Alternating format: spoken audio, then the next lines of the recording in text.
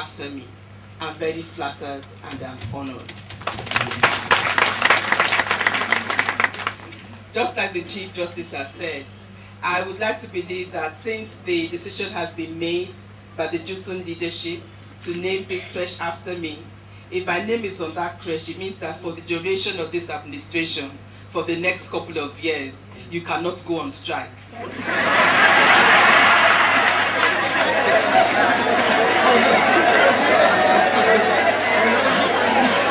on Friday, as part of the first anniversary activity of the Dr. Kari Fayemi-led administration, we launched what is called the Ekiti State Gender Policy.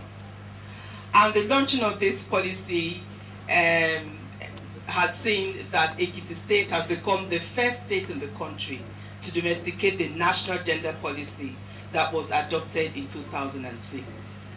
The importance of this document is that we now have a framework as an, as an administration through which we can address issues around women's empowerment and gender equality very critically. And one of the key concerns this in this document is the well-being and welfare of women in the workforce or in the workplace.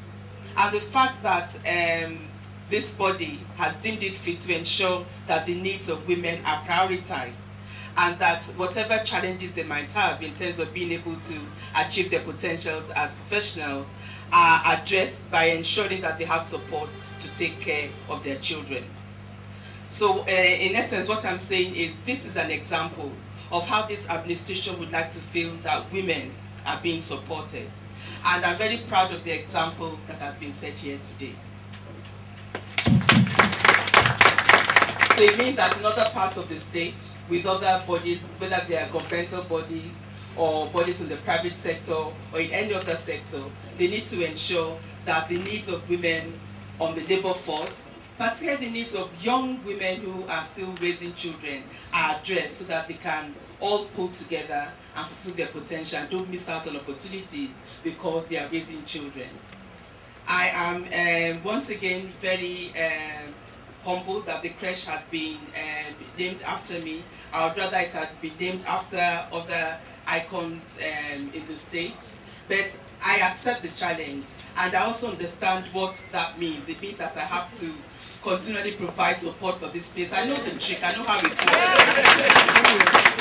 I know that it's my responsibility to ensure that the place is well maintained, that uh, the children have toys to play with, and that uh, the mothers who are part um, of this um, union can um, have support on a continuous basis. Yes, ma'am.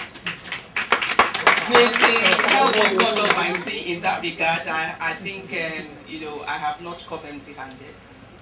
So after we have done the formal commissioning of the creche, there is a presentation I'd like to make to some of the women here.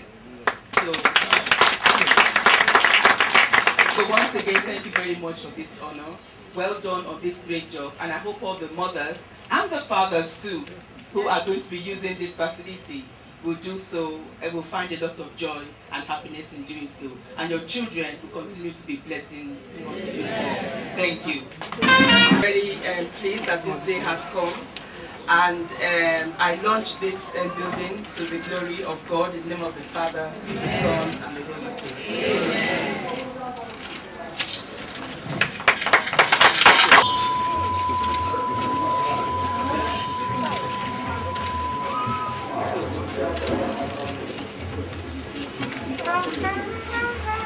as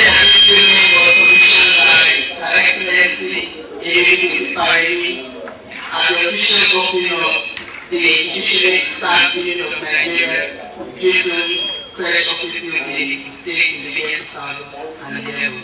May God continue to bless.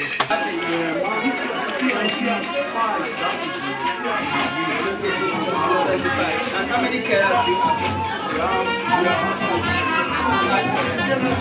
you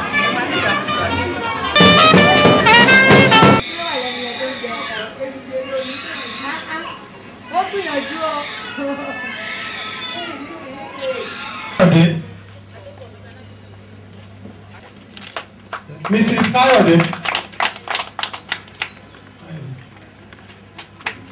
Mrs. Adewumi. Mrs. Morakiyo. Ẹjọ́ Oyáyá. Mrs. Dada Dio. Dada Dio. Mrs.